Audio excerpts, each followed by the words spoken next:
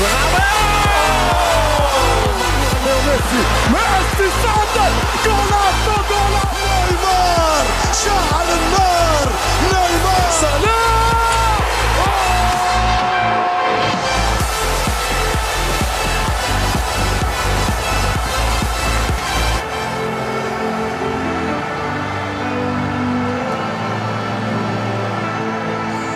مساء الخير مشاهدينا الاعزاء واهلا ومرحبا بكم في حلقة جديدة من برنامجكم الرياض اليوم، لكن قبل الخوض بتفاصيل الحلقة ندعكم مع ابرز محاورها.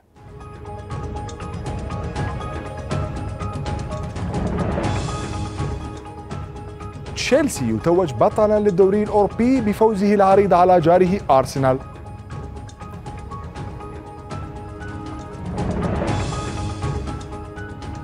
بولندا والسنغال تبلغان الدور الثمن النهائي لبطولة كأس العالم للشباب بكرة القدم.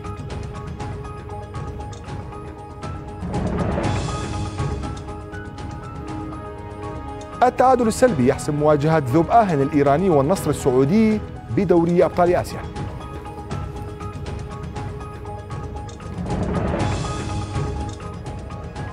أهلا بكم من جديد توج نادي تشيلسي بلقب الدوري الأوروبي لكرة القدم بعد فوزه العريض على جاره اللندني أرسنال بأربعة أهداف مقابل هدف واحد في المباراة النهائية التي جمعتهما على أرضية ملعب باكو الأذربيجانية. وبعد شوط أول سلبي النتيجه انتفض البلوز في الثاني فأمطروا مرمى أرسنال بالأهداف. افتتحها الفرنسي أوليفييه جيرو بالدقيقة التاسعة والأربعين. ثم ضاعف الإسباني بيدرو رودريغيز النتيجة بحلول الدقيقة الستين. وبعدها بخمس دقائق عزز البلجيكي إيدن هازارد تقدم تشيلسي بتسجيله للهدف الثالث من علامة الجزاء. وفي الدقيقة التاسعة والستين نجح أليكس أيوبي في تقليص الفارق للمدفعجية لكن هازارد عاد وسجل هدفه الشخصي الثاني والرابع لفريقه في الدقيقة الثانية والسبعين. لتنتهي المباراة بفوز تشيلسي ليتوج باللقب الأوروبي للمرة الثانية في تاريخه. وبعد اللقاء عبر المدير الفني للبلوز ماوريسيو ساري عن سعادته باللقب الأول في مسيرته التدريبية وأكد بأنه محظوظ لوجوده في نادي تشيلسي الذي ينافس بالبطولة الإنجليزية كونها واحدة من أفضل البطولات في العالم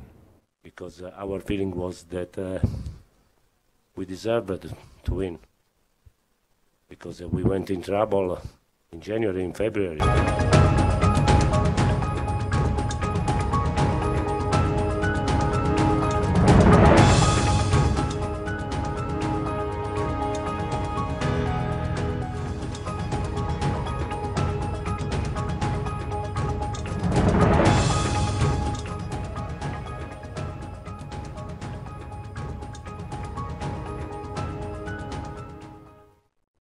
نعم مشاهدينا الكرام للحديث أكثر عن ملفات حلقة اليوم. ينضم إلينا من السويد الكابتن ملكون ملكون كاتب وصحفي رياضي. مساء الخير كابتن ملكون. مساء النور. مساء الخير. كابتن طبعا يوم أمس توج تشيلسي بلقبه الثاني في بطولة اليوروبا ليج. بانتصاره العريض حقيقة كابتن ملكون على أرسنال بأربعة أهداف لهدف. نعم.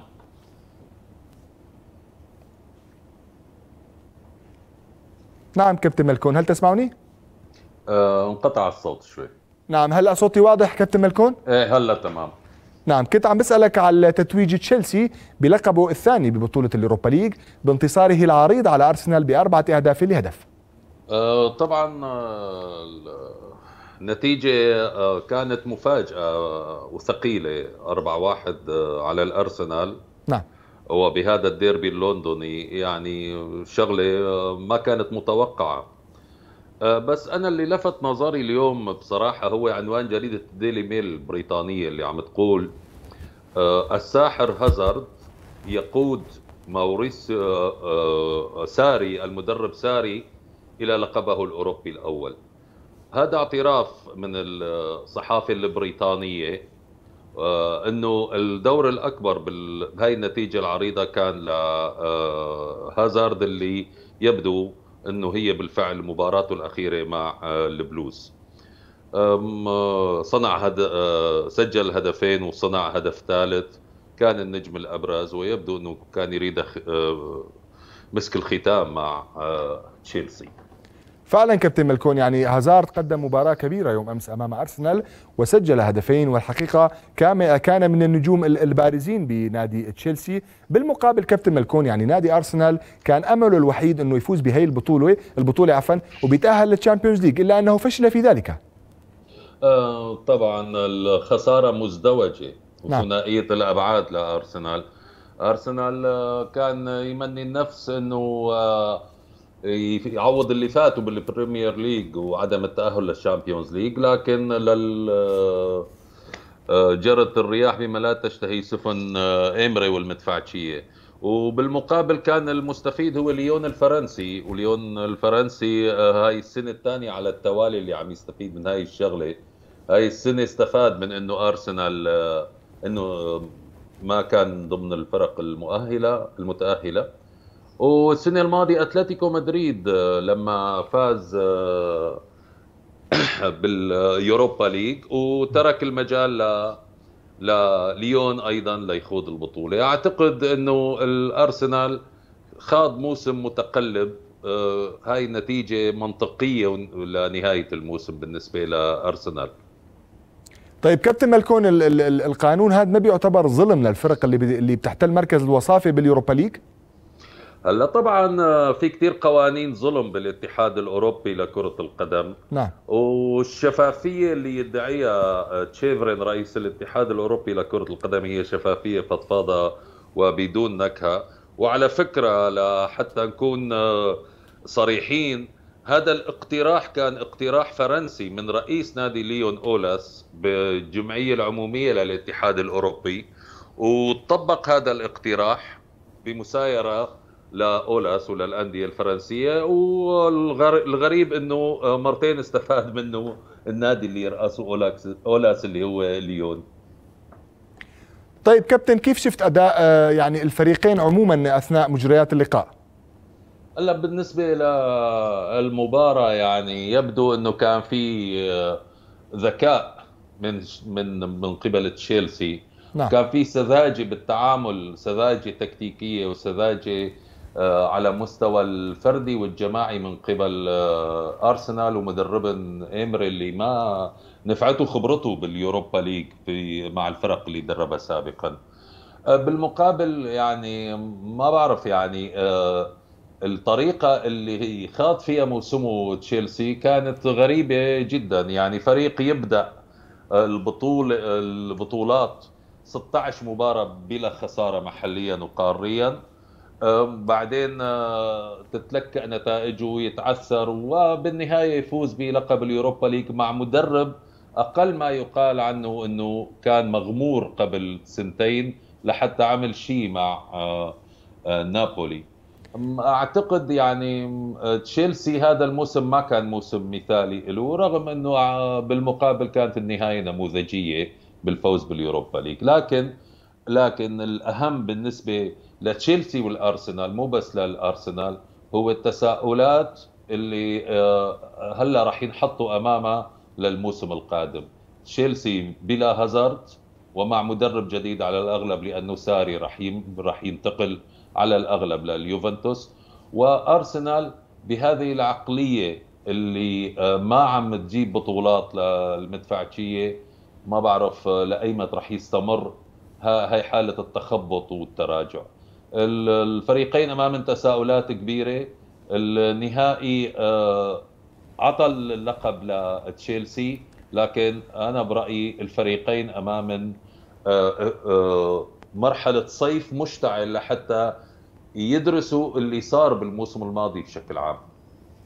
نعم فعلا كابتن يعني رحيل يعني اثنان من الأعمدة الرئيسية بنادي تشيلسي اللي هو النجم إيدن هازارد بالإضافة للمدرب ماوريسيو ساري سيشكل ضربة للبلوز في الموسم المقبل. أكيد أكيد. نعم. هازارد كان العمود الفقري للفريق اللندني وكان من أهم اللاعبين خلال السنوات الماضية. وإذا نقدر نعتبره كمان من نجوم السوبر ستار والنخبه بأوروبا بالفترة الأخيرة آم، بمساواة العديد من النجوم. آه، رحيله ما راح يكون آه، عادي على الفريق. وأعتقد ما في حاليا ولا لاعب بالتشكيلة يقدر يعوض آه، رحيل هازارد. نعم. ممكن المدرب يتأ- يتعوض بمدرب آخر. لكن هازارد لابد من صفقة كبيرة لتشيلسي لحتى يستعيد يستعيد توازنه نعم. مع رحيل هازارد. نعم كابتن ملكون لو سمحت خليك معنا لننتقل للحديث عن الملف الثاني بحلقة اليوم. كأس العالم للشباب ولكن بعد الفاصل.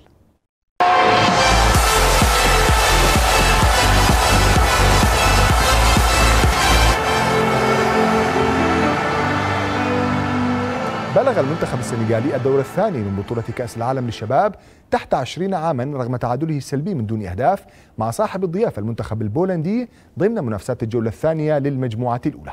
وبعد مباراة متوسطة المستوى الفني سيطر على مجرياتها التعادل السلبي من البداية حتى النهاية لتنتهي كما بدأت بشباك نظيفة.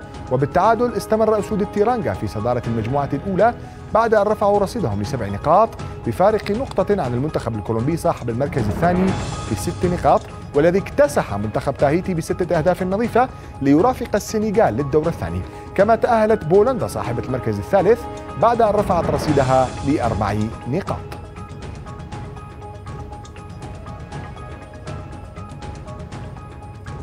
وفي منافسة المجموعة الثانية ساد التعادل السلبي. أيضا قمة مباراة المجموعة بين المنتخبين الإيطالي والياباني ليصبح رصيد الأتزوري سبع نقاط في صدارة المجموعة يليه اليابان بخمس نقاط في المركز الثاني. فيما حل المنتخب الإكوادوري ثالثا بعد فوزه على المكسيك بهدف دون مقابل.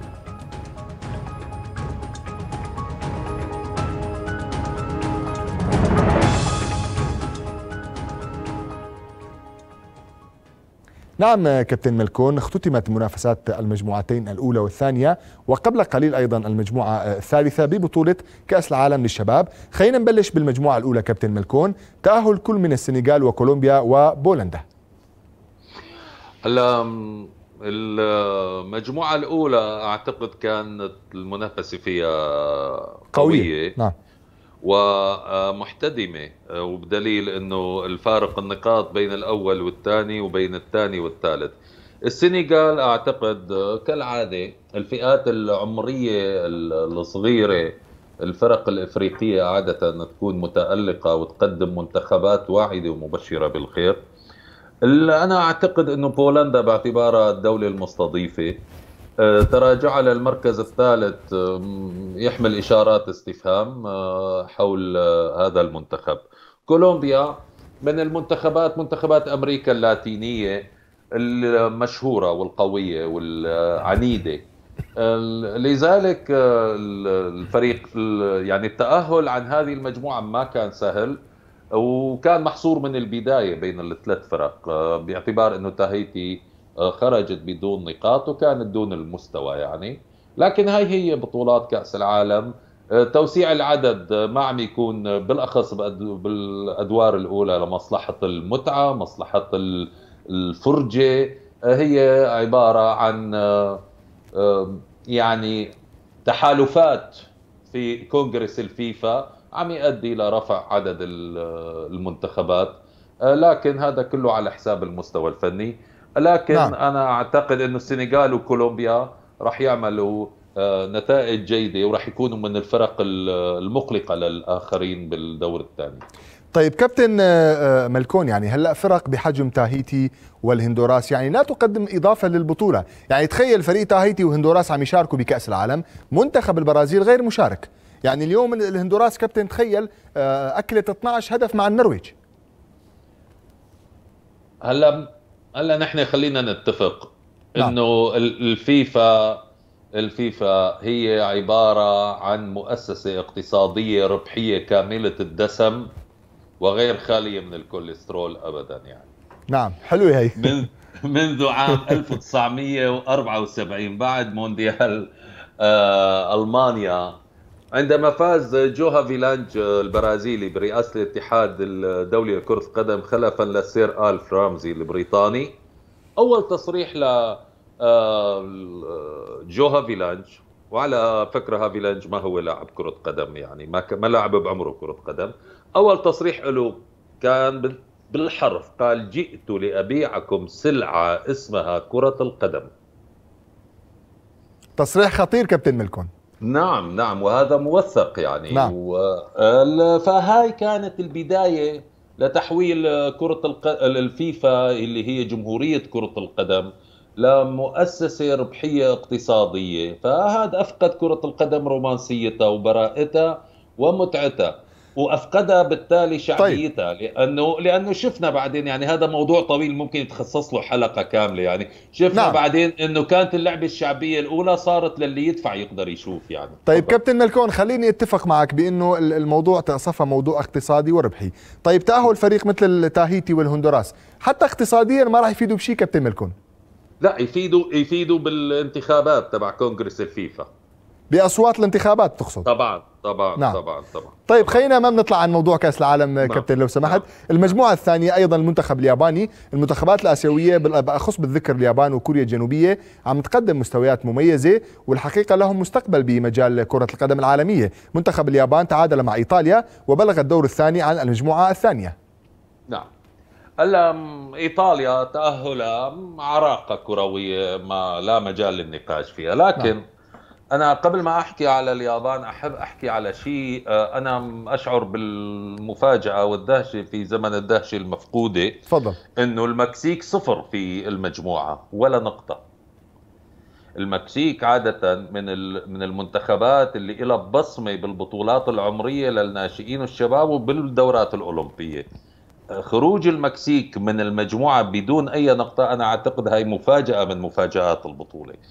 نرجع لموضوع اليابان. اليابان نعم. آه، هلا هي كرة القدم آه، في شرق آسيا اليابان كوريا الصين عم يشتغلوا كرة القدم بشكل علمي ومدروس ومنطقي وممنهج. اليابان عملت شيء كثير جميل جدا لحتى نشوف نحن هاي نتيجتها إنه تتعادل مع إيطاليا وتتاهل للدور الثاني. هي جابت لاعبين صغار السن جيل جديد زجتهم في البطولات الآسيوية. كأس آسيا تحت 23 سنة بالصين عام 2018 وراها الدورة الآسيوية دورة الألعاب الآسيوية بجاكرتا. بعدين كأس آسيا للشباب بأندونيسيا كمان. نعم. بعد هاي البطولات الثلاثة أخذوا اللاعبين قسمون لمنتخبين. منتخب عم يخوض هلا كأس العالم للشباب اللي عم نحكي عليها. ومنتخب عم يتجهز ليخوض كوبا أمريكا الشهر القادم آه، بالبرازيل أعتقد إيه. فهذا هذا التجهيز لأنه هن بدهم يطلعوا من هاي البطولتين كوبا أمريكا وكأس العالم للشباب بمنتخب يحقق الحلم الياباني بالفوز بذهبية كرة القدم لاولمبياد طوكيو. 2020 السنة الجايه حتى عم يفكروا ال... كابتن ملكون آه، بعتذر عن المقاطعة عم يفكروا حتى بالفوز بكأس العالم 2050 يعني. في خطة طويلة نعم. الأمد للاتحاد الياباني لكرة القدم. طبعا ال ال اليابانيين عم آه، يشتغلوا بطريقة ممنهجة وبطريقة علمية ويفكروا بالمستقبل. يعني اللي يفرق شرق آسيا عن غرب آسيا إنه هن لما يخوضوا أي بطولة عم يفكروا ما بعد هاي البطولة. نحن بغرب آسيا يفكروا بهاي البطولة شو راح يعملوا وتكون ردود فعلا على نتائج هاي البطولة. ما عم ننتظر لقدام إيش راح يصير نعم. إيش ممكن عم نخطط. نعم كابتن ملكون. طبعا أيضا الإكوادور الحقيقة انتصرت على المكسيك. انتصرت لكن لم تتأهل. نعم الإكوادور تبقى كمان من المنتخبات أمريكا اللاتينية القوية لكن أعتقد وجود اليابان وإيطاليا بالمجموعة هو تأهل منطقي. نعم. وهو حرم الإكوادور وقلل من حظوظها بالتأهل لدور الثاني. نعم. طبعا بالمجموعة الثالثة كابتن ملكون اللي انتهت مبارياتها آه، الحقيقة آه، قبل حوالي نصف ساعة أو ساعة من الآن. آه، منتخب الأوروغواي تغلب على منتخب نيوزيلندا بقمة مباريات المجموعة لينفرد بالصدارة. نعم. الأوروغواي شيء منطقي إنه تكون بالدور الثاني الأوروغواي دائما آه، قدمت آه، نجوم ببطولات كأس العالم للشباب. ويعني المثال الأكثر ابهارا بالنسبة لجمهور كرة القدم بأمريكا اللاتينية والأوروغواي إنه بطولة كأس العالم للشباب قدمت إنزو فرانشيسكولي اللي هو أمير كرة القدم بالأوروغواي آه، قبل سنوات طويلة. أول إطلالة له أول بروز كان ببطولة كأس العالم للشباب. أعتقد إنه الأوروغواي من المنتخبات اللي تقدم دائما شيء جديد ونجوم جداد. وما تكون طريقة آه، ببطولة آه، ببطولة مثل كأس العالم للشباب قصيرة. أعتقد راح تكمل لأبعد من هيك. نعم أيضا بنفس المجموعة كما تحدثت لك قبل قليل كابتن ملكون. نعم. منتخب الهندوراس يعني يتعرض لخسارة آه، يعني تاريخية 12 0 أمام النرويج. رغم هالشيء النرويج ما تأهلت كابتن. حتى كأفضل ثالث.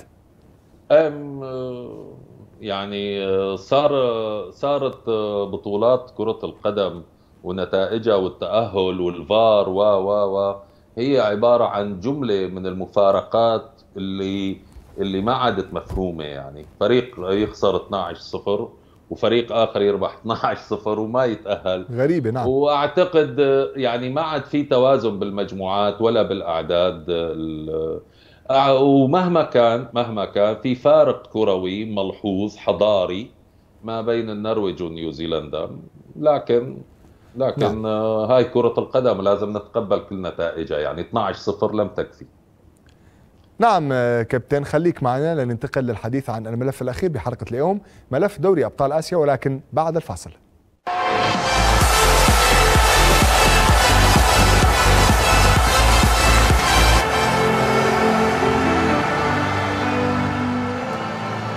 سيطر التعادل السلبي من دون أهداف على مواجهة ذوبآهن الإيراني والنصر السعودي في مباراة مؤجلة من الجولة السادسة للمجموعة الأولى بدوري أبطال آسيا لكرة القدم.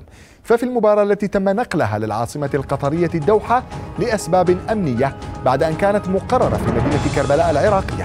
لم ينجح كلا الفريقان من استغلال فرص التسجيل التي أتيحت لهما على مدار شوطي اللقاء. لتنتهي المباراة كما بدأت من دون أهداف. وبهذه النتيجة حافظ الفريق الإيراني على صدارته لترتيب فرق المجموعة رافعا رصيده ل 12 نقطة فيما أصبح رصيد النصر 10 نقاط في المركز الثاني. وكان الفريقان قد ضمنا تأهلهما مسبقا للدور ثم النهائي.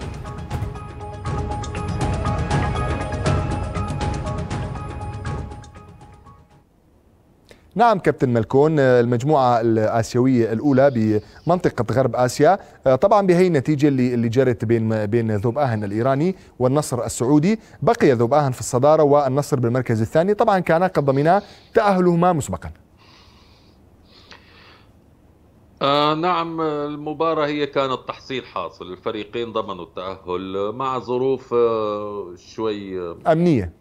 أمنية ومزعجة لحتى نقلت المباراة من كربلاء نعم. للدوحة. أعتقد هي كانت مباراة آه، لاستعراض القدرات لا- ليس أكثر. آه، في مجموعة آه، كان عانوا الفريقين لأنه في من ضمن نفس المجموعة الزوراء العراقي والوصل الإماراتي وهن من الفرق المتمرسة بالبطولات الآسيوية.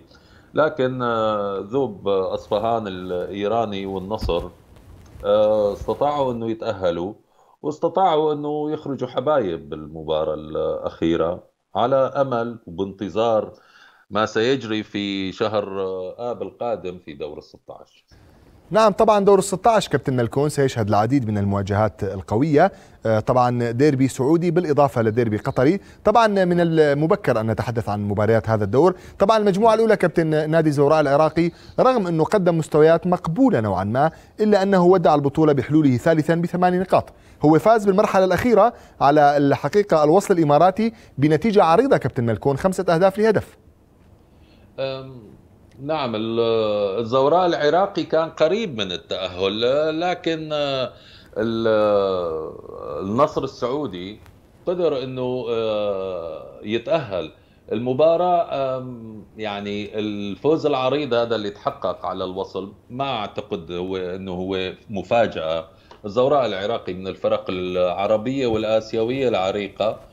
لكن تبقى كرة القدم العراقية بشكل عام لا تزال تدور في نفس فلك المعاناة اللي تمر فيها البلد عندنا. آه، لسه آه، العراق آه، ما تعافت رياضيا بصراحة نعم كابتن ملكون. خلينا هيك نلقي نظرة بعد إذنك على بقية المجموعات. طبعا بالمجموعة الثانية الوحدة الإماراتي والاتحاد السعودي ضمنا تأهلهما كيف شفت المجموعة الثانية كابتن؟ نعم المجموعة الثانية أيضا قوية.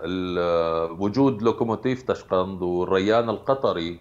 نعم. أعتقد كمان من الفرق بالأخص لوكوموتيف طشقند من الفرق القوية. آه، خروجه من الدور الأول ومن مرحلة المجموعات أعتقد هذا نجاح كبير للوحده الإماراتي والاتحاد السعودي. لأنه نحن تعودنا من الفرق الآسيوية إنه يكون المنافسة عالية المستوى. لا لكن نجاح الوحدة والاتحاد كان مشهود له الريان القطري ما ما قدم موسم جيد. اكتفى بثلاث نقاط. أعتقد مركزه كان طبيعي يعني. لكن نعم. لوكوموتيف أنا أعتقد كمان من المفاجآت إنه خروجه من الدور الأول.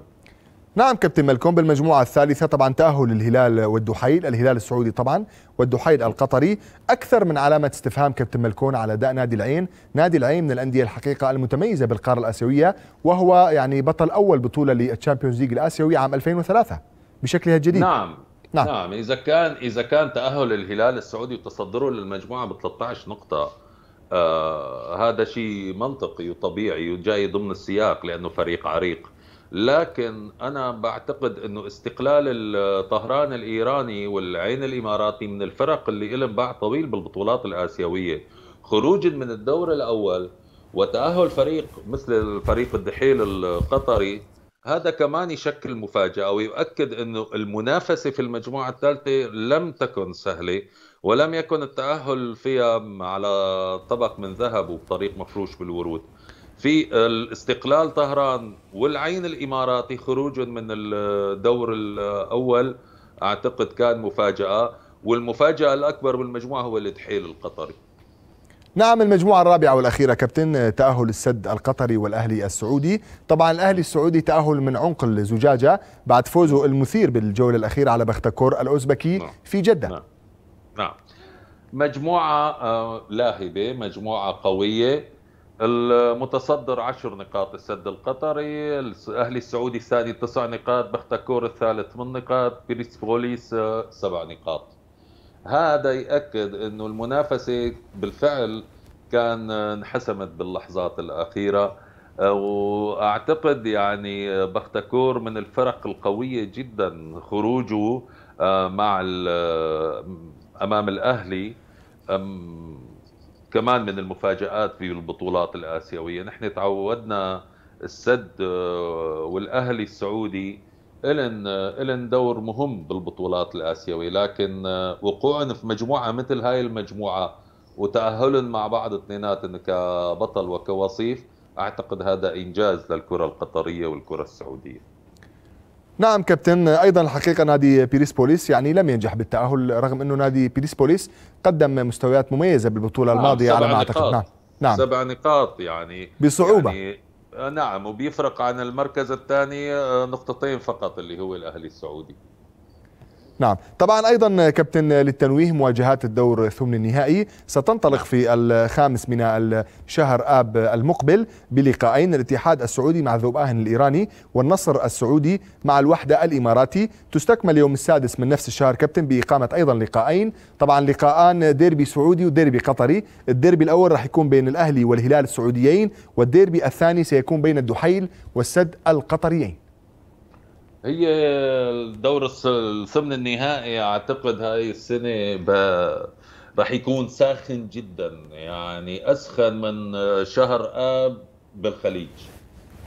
الديربي القطري والديربي السعودي بالأخص الديربي السعودي الأهلي والهلال يعني من الديربيات الآسيوية والعربية المشهورة والقوية جدا. آه، أحب أنوه كمان آه، بمباراة الاتحاد السعودي وذوب آهن الإيراني. كمان ما راح تكون سهلة ابدا. المباريات أنا أعتقد نحن آه، بانتظارنا مباريات مهمة وساخنة وما راح تحسم من الجولة الأولى بالتأكيد لأنه المستويات متقاربة والمنافسة كبيرة. نعم كابتن ملكون كنا سعيدين جدا بانضمامك لأن الكابتن ملكون ملكون كنت معنا من السويد الكاتب والصحفي الرياضي. شكرا جزيلا لك. إلى هنا مشاهدينا الكرام نأتي لختام حلقتنا لهذا اليوم وحتى نلتقي في حلقة جديدة. لكم منا ومن كادر قناة اليوم كل التحية والمحبة وإلى اللقاء.